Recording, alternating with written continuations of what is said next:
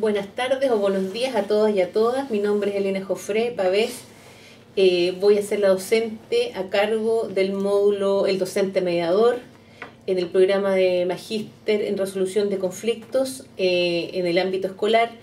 Eh, fundamentalmente les quiero comentar ahora cuál va a ser el sentido de este módulo en general y después voy a pasar a detallar cuál va a ser el objetivo de las unidades al interior de cada, del módulo, que son cinco en general.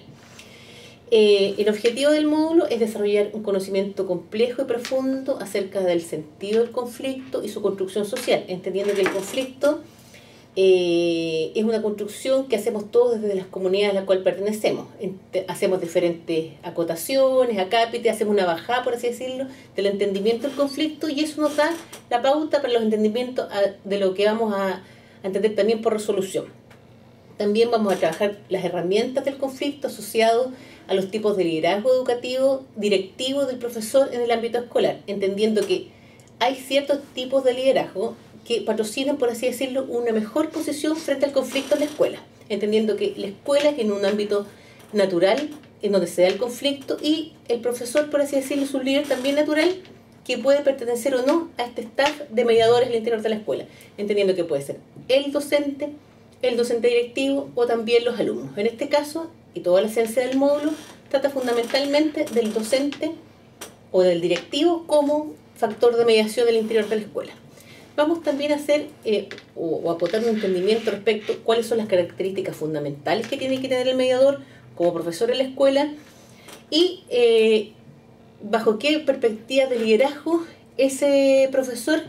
resuelve mejor o, o ayuda a resolver mejor el conflicto, en el entendido que él no resuelve el problema, sino son las partes involucradas las que lo resuelven y él solamente es una ayuda que proporciona las bases, por así decirlo, para que se produzcan los entendimientos. También vamos a clarificar algunos temas respecto eh, de que el conflicto, hay conflictos que pueden ser resueltos versus otros que no, no son resueltos,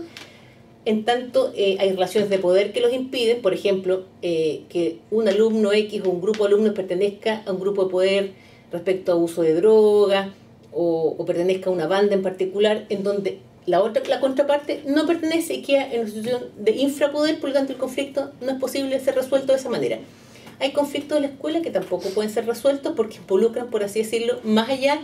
de un problema, involucran temas valóricos. Por ejemplo, el uso de armas, eh, el uso de amenazas, que efectivamente no pueden ser resueltos en el interior de la escuela tienen que ser resueltos por sistemas más bien judicializados. Entonces vamos a a distribuir la gama de conflictos efectivamente que puede ser resuelto por la escuela, cuál es la característica de ese mediador, cuál es el liderazgo que mejor asume para efectivamente sustentar las bases de la posibilidad de resolución de conflictos. Finalmente, este gran módulo, que es bastante interesante, hace una bajada al, por así decirlo, al estado del arte el problema en América Latina, que es bastante importante porque nos da la impresión ahora, a través de los medios de comunicación, que tenemos muchos más conflictos, problemas en el interior de la escuela que lo teníamos antes. Sí y no.